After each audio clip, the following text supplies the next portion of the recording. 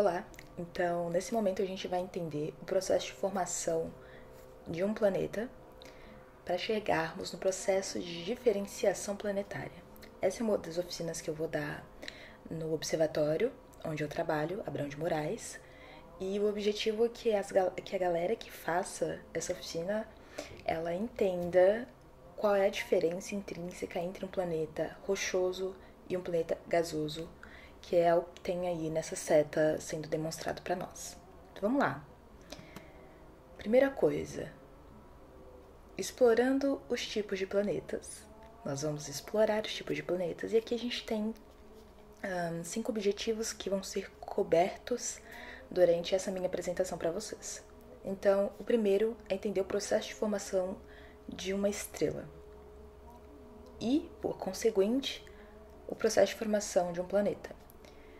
Segunda coisa importante, como a estrela influencia na formação dos planetas. Sim, existe uma influência muito, muito, muito íntima entre a estrela e o gás ao qual ela deixa ali ao seu redor para formar o resto do material é, que pertence aos sistemas. Terceira coisa, a gente vai um, definir o que é um planeta. Porque se eu chegar para você e perguntar agora, você sabe o que é um planeta? Muita gente acaba me dizendo que sabe, mas na hora de é, classificar e me dar os pontos mais importantes de formação de um planeta, do que é a definição de um planeta, que são três, spoiler, é, as pessoas se perdem um pouco. Então a gente vai definir isso hoje também. Nós vamos definir qual a diferença entre os tamanhos de planetas rochosos e gasosos, porque sim, existe uma diferença, e essa diferença ela tem a ver com esse processo de formação dos planetas, tá? E com a relação entre a estrela e o disco protoplanetário. Quinta e última, última coisa que nós aqui desse curso virtual não faremos, que é montar o seu próprio planeta. Isso vai ficar literalmente para as oficinas do AM. Então, se você ficou interessado, você pode se inscrever. É, infelizmente, as vagas são limitadas, mas porventura você pode conseguir é, uma vaga para produzir o seu próprio planeta rochoso e gasoso. Mas vamos lá, vocês vão passar por todo o processo para entender né, é, quais são os tipos essenciais de planetas. Então, a primeira coisa é entender colapso de uma nuvem molecular. Então, tá. No início do sistema, tanto do sistema solar quanto de qualquer outro sistema, tudo começa através de uma nuvem. É uma nuvem molecular de gás e poeira que gira lentamente. Mas aí, se houver qualquer tipo de interação, essa nuvem ela começa um colapso e depois que se inicia esse colapso é um processo que não para mais, tá? Então, aqui, eu tenho descrito aqui o que, que acontece. A nebulosa, nuvem de gás e poeira, que gira lentamente, colapsa sob sua própria gravidade, para formar um disco giratório. Com uma estrela no centro, colisões de gás e poeira dentro do disco concentram o material da nuvem em um plano fino. Então, como a gente vive no sistema solar, a gente tem é, entendimentos mais claros do que, que pode ter acontecido por aqui. Então, eu vou trabalhar com o sistema solar. Aqui onde nós moramos hoje, né, que é esse é, sistema magnífico e único. Ele era uma nuvem de gás e poeira que estava tranquila, girando lentamente, com a sua baixa temperatura, até que uma supernova explodiu aqui perto. Então, depois que essa supernova explodiu, ela criou uma onda de choque que atingiu essa nuvem, e essa nuvem passou então a iniciar um colapso gravitacional. Nesse processo, ela começa a girar e, por causa da conservação de momento angular, essa nuvem que antes estava espalhada num espaço maior, ela começa a achatar e a passar a estar em apenas um plano. Vou chamar de assim, vamos colocar assim, um plano, porque daí ela passa a ser um disco, né? E nesse disco, o centro desse disco é onde se concentra a maior parte da matéria. Então, é o local em que as pressões e as densidades são extremamente altas. Sendo assim, a gente começa então o processo de formação de um planeta, tá? Como é que ele se dá? A gente começa então partindo desse disco. Formamos esse disco e no centro desse disco a gente tem a protoestrela, que é essa região mais densa, nessa né? região mais quente. E para a gente ter uma noção de valores, no sistema solar, 99,99% ,99 da matéria está concentrada no núcleo, né? Ou seja, na estrela. 0,01% é o que sobrou para se formar todo o resto. O que, que é todo o resto? Planetas, cinturões de asteroides, é, uh, cometas, por aí vai. Então, vamos passar por aqui. A região interna da nebulosa solar torna-se quente, permitindo apenas que material rochoso condense, condicionando desta forma apenas a formação dos planetas rochosos. Tá, então aqui a gente já tem um ponto importante. Aqui a gente tem então qual o lugar necessário, quais são as condições necessárias para se formar um planeta e qual tipo de planeta é formado dependendo da localidade, tá? Então, acabei de informar para vocês que próximo à estrela a gente forma planetas rochosos. Isso se deve ao fato de que próximo à estrela, essa protoestrela, na verdade, está sendo liberada muita energia, muita, muita, muita energia. E energia é calor, né? E calor, calor acaba por excitar a matéria que é mais volátil. Então o que? Gelo, gás, por exemplo, eles são totalmente empurrados para a periferia. Então, tudo que é volátil recebe energia ganha movimento e vai para as periferias, para as bordas desse disco protoplanetário. Então, o que, que sobra perto da estrela? Material mais denso, material menos volátil, rocha e materiais é, metálicos. Então, com isso, a gente consegue compreender, primeiramente, aonde se formam os planetas rochosos, né?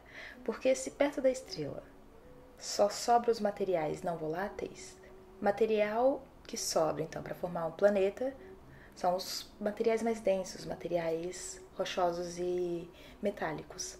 Então, tá aí, então, o, o processo de formação de um planeta rochoso. Ele se dá próximo da estrela por causa dessa condição da estrela de liberar muita energia.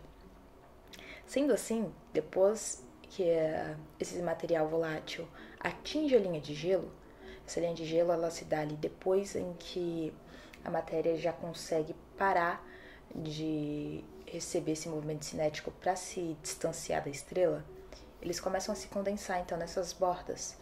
Logo, além de material rochoso e metálico, a gente também tem a disponibilidade de material gasoso e material no formato de gelo, né? Então é basicamente isso que está aqui nesse segundo parágrafo. Gases e gelo podem se condensar nas regiões externas mais frias, que é aí que se encontram depois da linha de gelo, onde se formam os planetas gasosos e gigantes e suas luas geladas. Então vamos lá, vamos entender melhor isso aqui. Processo de acreção de matéria. Então eu acabei de falar para você que a posição em que os materiais estão influenciam diretamente no tipo de planeta que vai ser formado. São dois tipos essenciais, né, os gasosos e os rochosos, e vamos começar então com os rochosos. O processo de acreção de matéria, ele se dá por causa da gravidade, né? Então, a gente tem um pedacinho que é também conhecido como contrito, próximo a uma região. Esse pedacinho, ele puxa um outro pedacinho, e esse outro pedacinho junto outro pedacinho e eles começam então é, a se atrair mutuamente até formar coisas muito grandes. E quanto maior essa coisa que você tem, mais essa coisa puxa coisas que estão em torno, né? Então, corpos pequenos colidem e se unem lentamente para construir os planetas rochosos. Essa acreção também constrói os núcleos dos planetas gigantes gasosos, até que estejam massivos o suficiente para que sua gravidade capture gelo e gás. Mas espera aí, a gente entrou em um assunto sem antes definir o que é um planeta? Então vamos lá. Segundo a União Astronômica, é, em 2008, que sim, é aquele momento em que Plutão deixou de ser planeta, a gente definiu exatamente o que é um planeta. E para ser um planeta você precisa de três coisas importantíssimas, tá? Primeiramente, orbitar ao redor de uma estrela. Hum, interessante. Plutão orbitava ao redor de uma estrela, a Terra orbita uh, ao redor de uma estrela, a Lua também orbita ao redor de uma estrela. Ok, então essa primeira definição ela é abrangente, ela cobre muita coisa. Segunda coisa, ter massa suficiente para ter o equilíbrio hidroestático.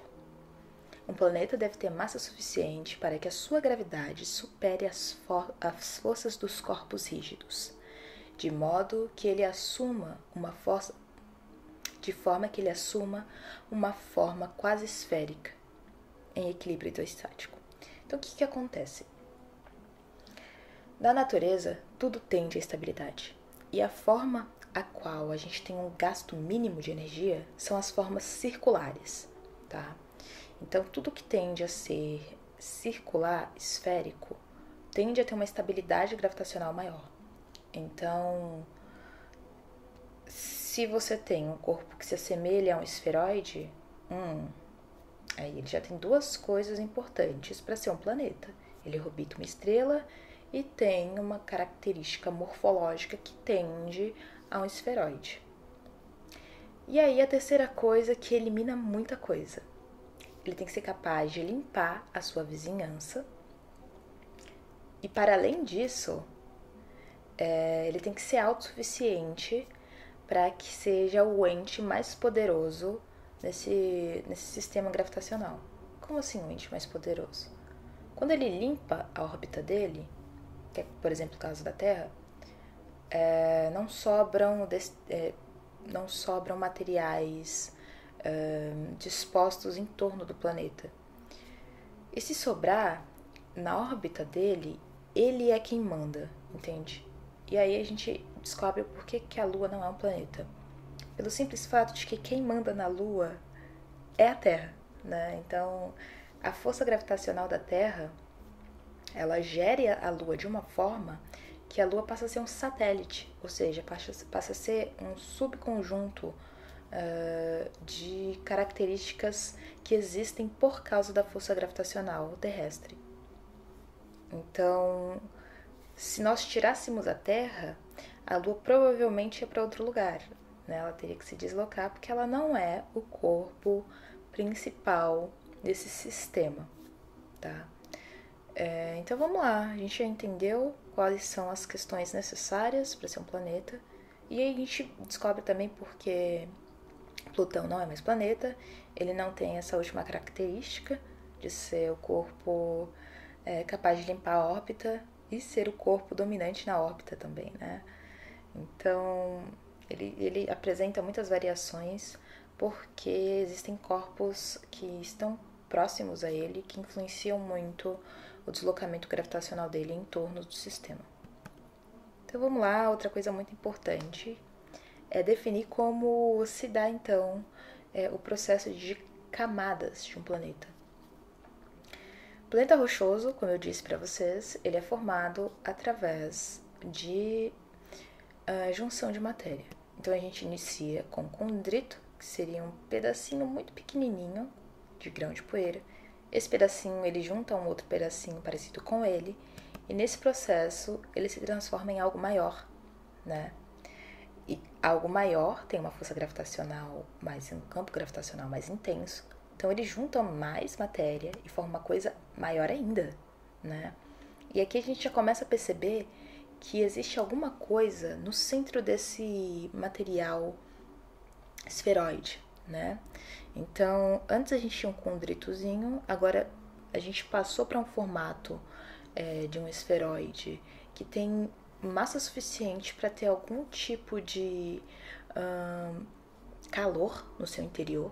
E depois, numa terceira fase, depois que ele já juntou mais matéria, a gente já tem uma atividade caótica acontecendo, né? Então a gente tem toda essa esse sistema que agora irradia calor para o planeta todo.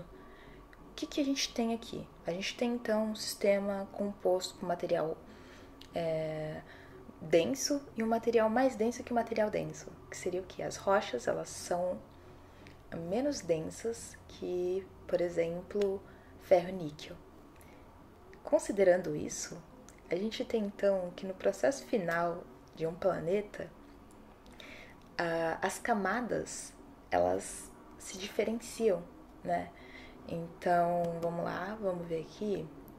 Aqui é o sistema total, né, do que, que acontece. Nós temos aqui o que, que acontece. É, se vocês repararem, deixa eu voltar para o slide. Aqui. Tá vendo que aqui nós temos três camadas importantíssimas, definidas como o núcleo, que seria essa coisa preta. Nós temos esse amarelado, nós temos esse avermelhado e por fim a gente tem a crosta, que seria essa parte branca, mas vamos focar nessas outras três. O núcleo, ele na terceira imagem aqui a gente consegue ver que ele tá tudo misturado ali dentro, né? Então você consegue ver que a gente tem um tom de laranja que representa uma densidade que talvez seja uh, comum para todo mundo. Mas aqui nessa quarta imagem a gente consegue perceber que já existe uma diferença. A gente tem um núcleo mais brilhante, e conforme você vai tendendo ali para as bordas desse planeta, você percebe que a coloração ela vai ficando mais alaranjada. O que, que a gente tem? O material denso, seria, por exemplo, ferro e níquel no caso da Terra, ele cai para dentro do núcleo. Então a gente tem essas setas pretas indicando que esse material denso ele é condensado, ele, ele passa a tomar um, um espaço no centro do planeta rochoso que representa um espaço de material denso. Então, tudo que for denso cai. É literalmente ter um copo com água e adicionar óleo. A superfície fica o óleo porque o óleo ele é menos denso que a água e a água fica ali na parte de baixo. Então, se você tirasse uma fatia desse planeta e considerasse que fosse um copo, essa parte de baixo seria a água e na superfície nós teríamos então o óleo, sendo que a água representaria esses materiais é, ferrosos e essas camadas de cima, né, representariam materiais que vão tendendo ali a uma diminuição de é, densidade. Então, núcleo ferro e níquel, borda é, núcleo externo, a gente teria rochas que começam a estar em um estado é, que não é necessariamente um estado rochoso, tá? Elas estão em um estado líquido por causa da pressão e da temperatura encontrada dentro desse núcleo, mas ela é menos densa que o que está no núcleo. Isso é muito importante frisar, tá? Então vai havendo essa diferenciação. Então, conforme você vai subindo ali do núcleo até a superfície do seu planeta, a densidade dele vai caindo. Então aqui era muito denso, aqui já está meio denso, aqui nem tanto, e aqui a densidade é a mais baixa possível, considerando os materiais que formam esse planeta. Então vamos dar uma lidinha aqui nesse, nesse parágrafo. Os planetas rochosos, assim como as luas maiores e os asteroides, possuem camadas esféricas, que são criadas por meio de fusão e diferenciação. Elementos mais pesados afundam para o centro, formando núcleos ricos em ferro. Materiais mais leves são empurrados para cima, formando camadas rochosas externas. Então passamos por esse desenho e aqui vem um spoiler. Para a formação de um planeta gasoso, você precisa primeiramente passar por todo esse processo também. Lembra que eu comentei para vocês que nós vamos para a linha de gelo? Na linha de gelo existe material rochoso que está disposto durante todo o espaço. Então, todo esse material ele começa a passar por esse processo de, de acreção até formar algo do tamanho de um planeta rochoso. Então, o núcleo de um planeta rochoso ele representa. Uh, perdão. Um planeta rochoso inteiro repre representa uh, um planeta gasoso. Como assim? Vamos entender melhor isso? Então, depois que se passou por todo esse processo, você formou um planeta rochoso, você inicia então um processo de formação de um planeta gasoso. Então, lembra de todo aquele processo que nós conversamos atrás? De material rochoso, atrair material rochoso, e depois havia diferenciação, material denso no núcleo, material não tão denso nas superfícies. Formou isso, você tem um planeta rochoso que agora vai começar a atrair material volátil que se encontrava ali depois da linha de gelo. Então, gases começam a ser acretados em torno desse planeta rochoso. E daí vai tendo é, novas formas ali de movimentos físicos. Né? Então a gente tem um núcleo, e daí então gente, esse núcleo ele passa a atrair gelo. Esse gelo ele passa a ter uma atmosfera. E esse processo ele vai se dando de tal forma que essa atmosfera ela vai começando a ficar muito mais densa e os materiais ainda mantendo a questão das camadas, os materiais mais densos ficam ali próximos ao núcleo e com isso vai subindo ali, vai ficando mais leve. Então a gente tem um núcleo que representa o planeta rochoso inteiro. Depois desse desse núcleo a gente vai para um oceano de água líquida, que anteriormente era só gelo, mas por causa da nova acreção do novo material que foi atribuído a esse planeta, a pressão ela ocasionou então a formação de água no estado líquido. Então a gente forma aí um oceano de água líquida e conforme a gente vai tendendo para fora, a gente passa de novo a ter uma atmosfera gasosa. E aqui a gente tem então, por fim, é, um planeta gasoso no seu total. Essa bolinha azul, ela expressa totalmente um planeta rochoso. E para fora são outras coisas. Então a gente vai tendo as camadas de água líquida, a gente vai tendo as camadas de gás até chegar na atmosfera mais externa, né? Então, só que pra gente ter uma noção, eu coloquei esse comparativo. A Terra tá ali naquele cantinho superior, né, da tela. E sim, a gente consegue perceber como a Terra representa o núcleo de um planeta rochoso. Então, todo o nosso planeta, ele está contido em um pedaço muito ínfimo, muito ínfimo de um planeta, é, de um planeta gasoso, porque a disponibilidade de material depois da linha de gelo é muito grande, tá? Então, aqui a gente também tem as camadas de um planeta gasoso. Então, a gente começa com o núcleo rochoso, a gente vai para uma fase de hidrogênio metálico, e depois desse hidrogênio metálico, a gente vai para uma fase de hidrogênio molecular. Então, mantém-se a questão da diferenciação entre a densidade do material que forma os planetas. Aqui a gente vai trabalhar especificamente com dois planetas em específico, que seria Júpiter e Saturno. Não, não foquei muito nos planetas é, gigantes gasosos, mas o processo é semelhante, o processo de formação. Então, aqui a gente tem as camadas, né? O planeta gasoso ele tem essencialmente quatro camadas importantes, que seriam o núcleo metálico, a gente tem o núcleo externo, a gente tem a crosta e o manto. Na verdade, as últimas duas é o outro, que é a ordem. É, na verdade, é o manto e depois a crosta. O planeta rochoso ele tem todas essas mesmas fases, só que no núcleo. Então a gente vai esquecer que no núcleo de um planeta gasoso a gente tem um planeta rochoso a princípio e vamos tratar do que vem depois. Então a gente tem um núcleo, que é esse núcleo denso, depois a gente tem uma camada de hidrogênio é, metálico, que se dá aí talvez na forma de, de oceano, pelo que a gente pode deduzir.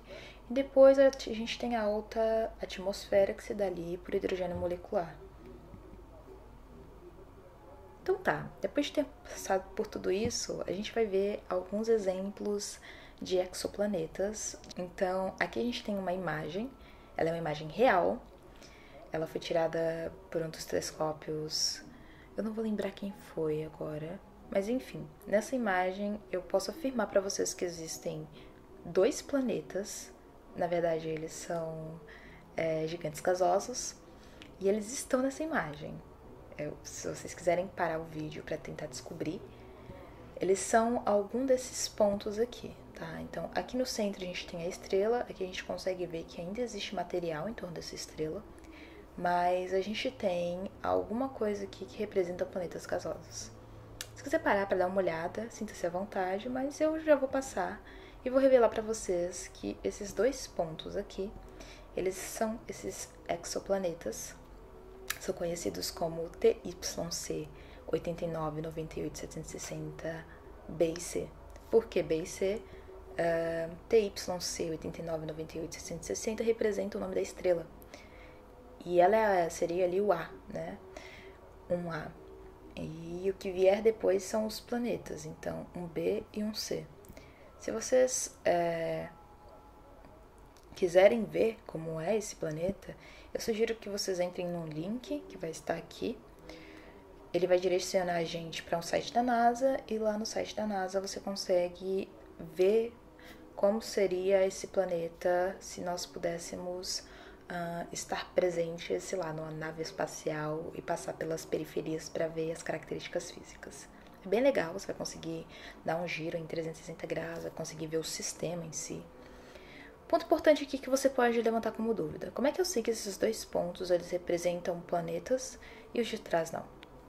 Ahá! Na imagem, dois planetas são detectados como pontos brilhantes marcados por setas na parte inferior direita. Além deles, há várias estrelas de fundo, também visíveis na imagem. O que, que acontece? É, tudo no universo está em movimento.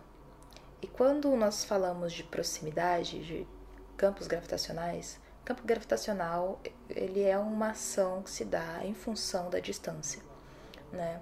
Então, se vocês lembrarem lá da gravidade universal, lei universal de gravidade de Newton, a força gravitacional ela se dá com uma constante, que é o G, vezes a massa de interação dos dois corpos, que no caso aqui seria a estrela e o planeta, dividido pela distância ao quadrado.